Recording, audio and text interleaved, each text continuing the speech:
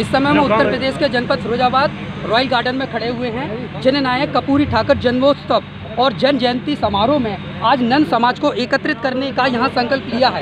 यहाँ के विशिष्ट बतौर जो हमारे उत्तर प्रदेश पूर्व मंत्री ठाकुर जयवीर सिंह और पहचानने की कोई ज़रूरत नहीं है व्यक्तित्व के धनी है। आइए उनसे बातचीत करेंगे कि किस तरीके का आप यहाँ पर संदेश दे रहे हैं। सर सबसे पहले मैं आपका स्वागत करूँगा कल सर आज जो जन जन नायक कपूरी जन जयंती समारोह में आप जनता को क्या संदेश देना चाह रहे हैं सर? देखिए आप स्वयं संबोधन में कह रहे हैं जन नायक कपूरी। जी सर। तो स्वयं में सिद्ध करता है। कि कपूरी ठाकुर जी एक न सिर्फ़ अकेले राजनीतिक क्या कर रहे हो? पर वो एक जन नायक थे। थोड़ा पीछे बैक बैक हो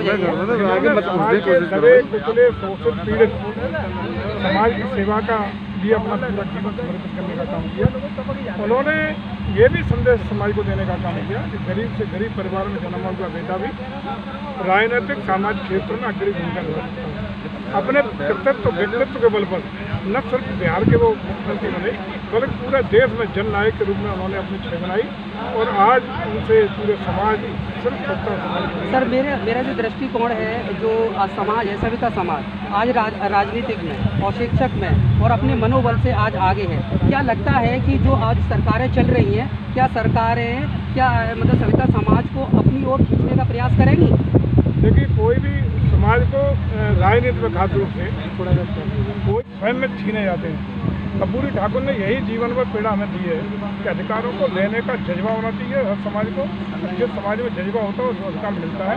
निश्चित रूप से सत्ता समाज योग्य और क्षमतावान समाज है।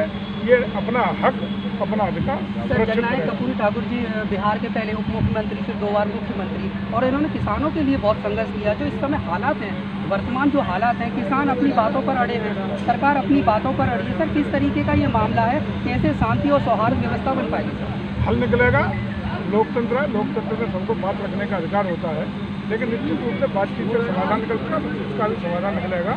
देश के सम्मानित हैं किसानों ने देश का पेट भरने का काम किया देश के अन्नदाता हैं उनका पूरा सम्मान है और सम्मान के साथ ही सम्मानजनक हल निकलेगा। सरकार की ओर से सर कई बार सर वार्ता हुई वार्ताएँ विफल हुई। छब्बीस जनवरी को वो घुस गए रिंग रोड से लेके अंदर अंदर किसान किसान कभी भी इस तरह की कार्रवाई नहीं कर सकता जिन लोगों ने भी कल जो काम किया है, जानकारी पर जा करके तो निश्चित रूप से समाज के कोई ऐसे लोग जो असामाजिक तत्व वही होंगे, किसान कभी ऐसा काम नहीं कर सकता सर, आज आप मंत्री पद पर नहीं है, लेकिन आप व्यक्तित्व के धनी हैं, लोग, और ये आगरा मंडल में आपकी छवि बहुत अच्छी है, उत्तर प्रदेश में आप मंत्री भी रहे हैं। तो कहीं ना कहीं, सर, आज का जो दृष्टिकोण है और किस तरीके का मामला है, सर?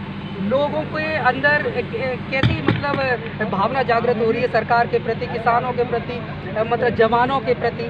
क्या माहौल है सर? ऐसी भावना जागृत हो रही है। रवि भाई बहुत चौदह से याद है उन्नीस में लोकसभा के एम जीत के आए। चौदह में हम लोग रिकॉर्ड ऐतिहासिक जीत के साथ आए।